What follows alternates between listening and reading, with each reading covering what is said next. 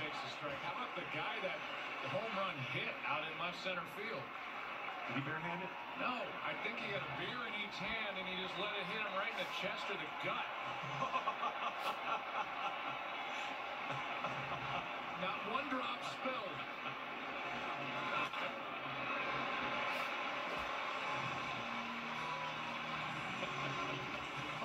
I mean, that's next level.